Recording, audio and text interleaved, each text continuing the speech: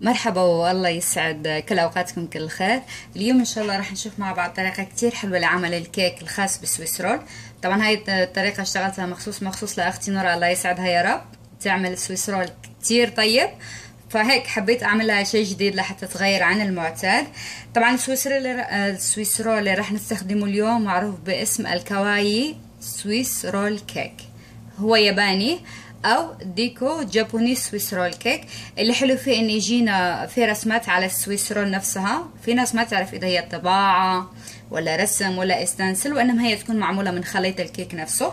مثل ما أنتم شايفين أنا هنا عندي جهزت الرسمة.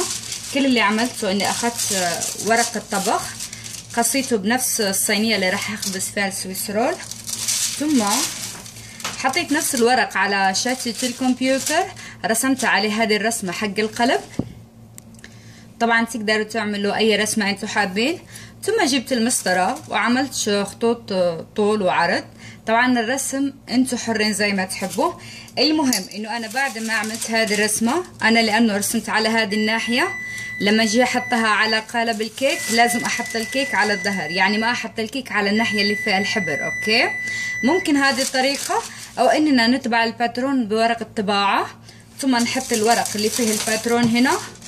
ونحط عليه ال parchment paper وبعد ما ننقل ال design نسحب الورق من تحت. تبعوا الطريقة اللي أنتوا تحبوا اليابانيين اللي هم ال Japanese في لهم وصفة خاصة بعمل swiss roll ال kawaii بس ممكن نستخدم حيالله وصفة swiss roll عندنا أو ببساطة ال sponge cake. هذا أنا سبق وجهزته. بس آه المهم إننا ما نحط فيه ابدا لا خميرة ولا دقيق ذات التخمير راح تلقون نفس الطريقة اللي عملت بها هذا ال sponge cake عندي بالفيديوهات وهي طريقة عمل كيك الإسفنجي. بس لا تحطوا دقيق ذات التخمير حطوا الكمية كلها دقيق عادي. راح نحتاج مع هذه الأشياء ألوان. طبعا الألوان اللي يحدد الألوان الرسمة اللي راح نختارها. فأنتوا راح تشوفون الألوان اللي راح أستخدمها. راح نحتاج أيضا إلى الصحون اللي راح نمزج فيها الألوان. واقماع البلاستيك. أنا لحتى أسهل عليكم الموضوع راح أشتغل بهذا البلاستيك العادي. المهم إنه ما يكون عنده هذه الزيادة تحت زي كده. الان كل راح اعمل نجهز الالوان ناخذ كده شوي من الخليط. طبعا نخلط اللون على حسب الكمية اللي نحتاج يعني. آه. أنا عندي البينك راح أحط له شوي زيادة هون. يعني ال pink بيكون زايد شوي. يلا وهذا راح أحط فيه الأصفر. sorry هذا بحط فيه الأسود وهذا بحط فيه بس شوي اصفر راح أحتاجه. okay. هلا راح جهز هذه الألوان. كل نعمله مثل ما بنعمل مع أي كيك بنجيب الألوان زي كده. ونحطها ما أبغى اللون مرة غامق فبنتبه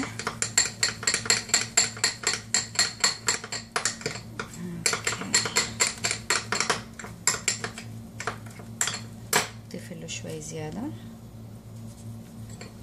أنا راح أجهز كل الألوان بهذه الطريقة وأحطها بالبلاستيك ثم نرجع لحتى نشوفها.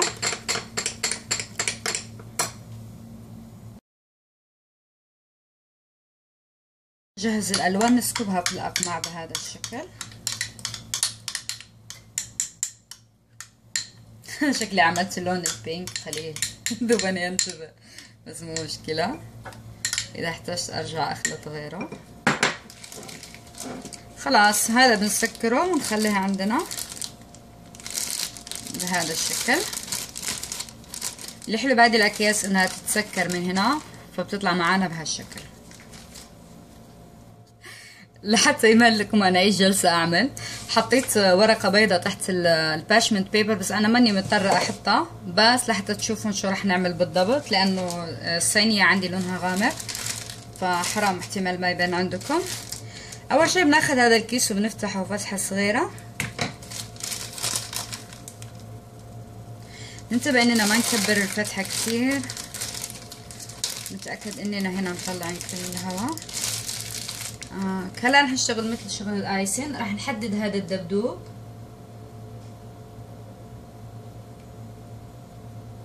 معليش أنا لأنه اصور من فوق احتمال إيدي تغطي على ال بس هو راح نحدد هذا الدبدوب كله. الموضوع جدا سهل.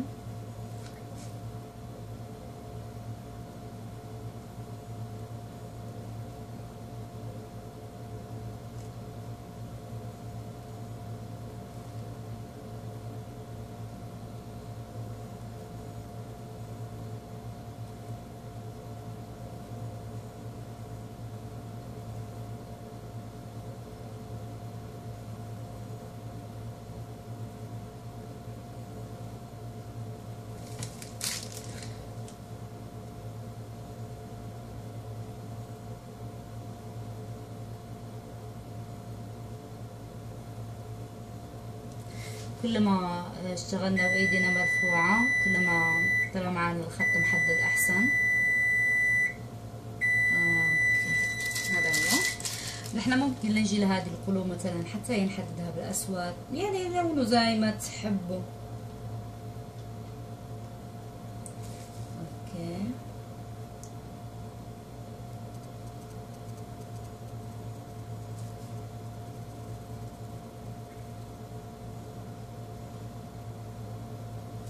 هذه هي. الآن أنا عندي هون مثلا مكان الكيك وببساطة أسحب زي كده الكيك وأعدل ثخن الخط عندي. ما يأثر. okay. هذا رح احطه بالفرن لمدة 30 ثانية فقط ثم نطلعه. طبعا بعد ما نطلعها من الفرن ننتبه لأنه الصينية بتكون شوي سخنة. الآن رح نحط اللون الأصفر. الفرن جاهز عندي وجالسين يا اللهم لك الحمد. هلا بنحط الاصفر زي كده. اللي هم الاذنين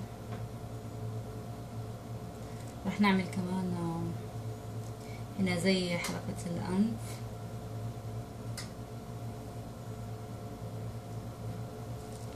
هنا شوي زي فيونكة هلا نجيب البينك.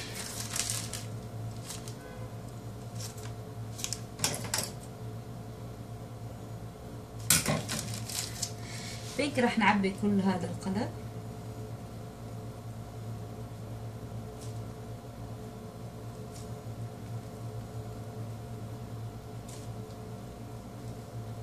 أنا بالأول أحط كمية ثم ابتدي زي كده أسحب.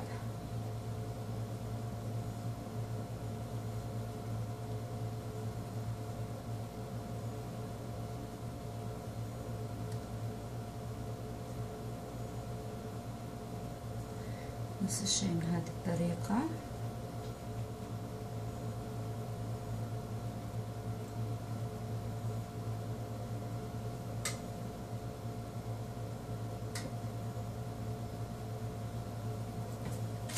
إذا احتجت أضيف أكيد.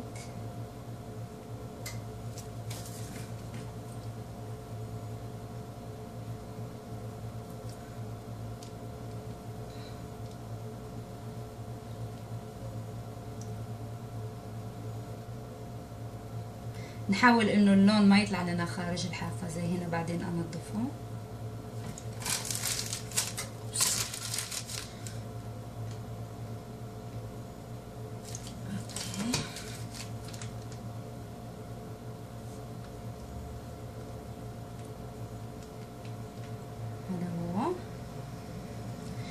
أنا الآن راح أشيل الورق اللي حطيته تحت الأبيض لحتى ياخذ راحته الكيك. لأن هذا كان الهدف منه إني أفرجيكم كيف بيكون الكيك. هلأ بنعبي القلوب.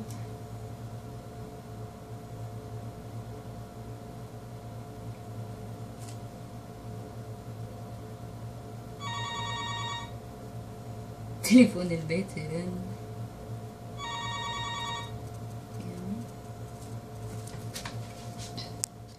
راح أعمل حتى هذه الخطوط. واعملوا زي تحبوا. أنا فكرت إنه أعملها خطوط.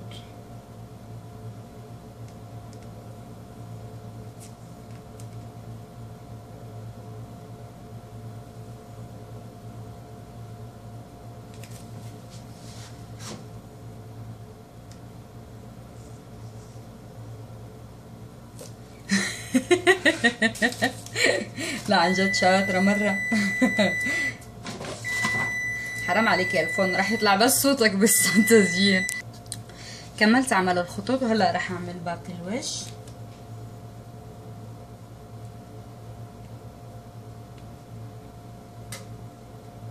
بس انتبه ما نطلع على الخشب على الملامح أوكي؟ لحتى ما نلخبط العيون وهيك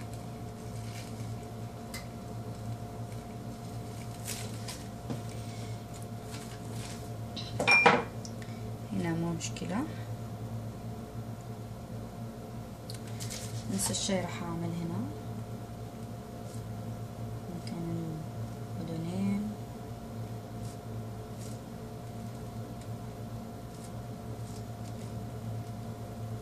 الأيادي. أوكي هذه هي. هلا أحطها بالفرن كمان لمدة دقيقة ونرجع لحتى نكملها. هذه هي بعد ما طلعتها من الفرن. الآن راح نسكب عليها باقي الكيك. بهذا الشكل.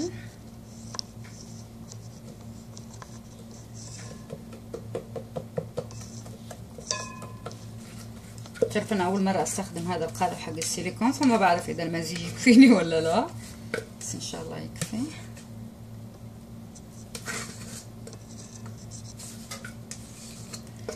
يلا خلاص بنمد الكيك زي كده.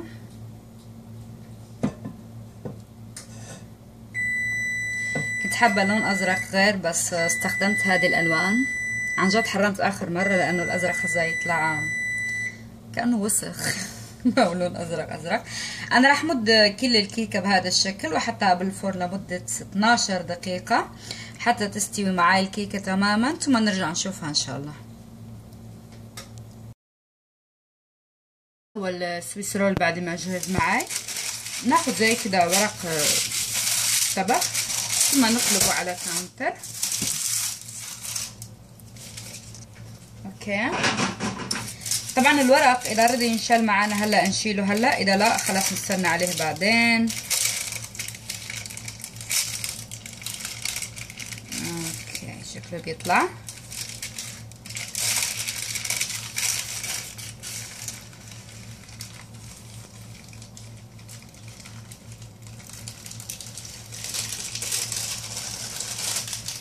okay يا حلوين هذا هو الشكل كيف بيطلع معنا. مثل ما أنتم شفتوا طريقة جدا حلوة وسهلة. خلص السويس رول نلفه بيطلع معنا بهذا الشكل. مثل ما أنتم شايفين شكله كتير حلو. يعني ما يحتاج ان نحط طبقة كريمة ودسم وكالوريات زيادة على الوش لأنه هو كده يعني حلو من غير ولا شيء. مثل ما شفتوا طريقته جدا حلوة وسهلة. أكيد ممكن يستصعبوها بالأول بس والله بس جربوها مرة واثنين إن شاء الله وتزبطوها. شوفوا اللون الأسود بايدي أنا هالمرة اشتغلته بال sponge cake مثل ما قلت لكم وصراحة كانت أول مرة أشتغله بال sponge cake. كان المفروض إنه أدهن الورق بشوي بالزبدة أو شيء لأنه مثل ما لاحظتوا لزق شوي من الكيك على الورق بس مو مشكلة. المرة الجاية إن شاء الله بعملكم إياه بوصفة ال kawaii roll swiss roll اليابانية الأصلية لأنه عندهم طريقة تانية للشغل. يلا إن شاء الله تعجبكم النتيجة اللي وصلناها وجربوها. الله يسعدكم يا رب. و thank you وهذا هو. صح؟ لا أحد يسألني على الحشوة لأنه ما هو محشي. أنا بس لفيته على بعضه لحتى افرجيكم اياه okay. يلا bye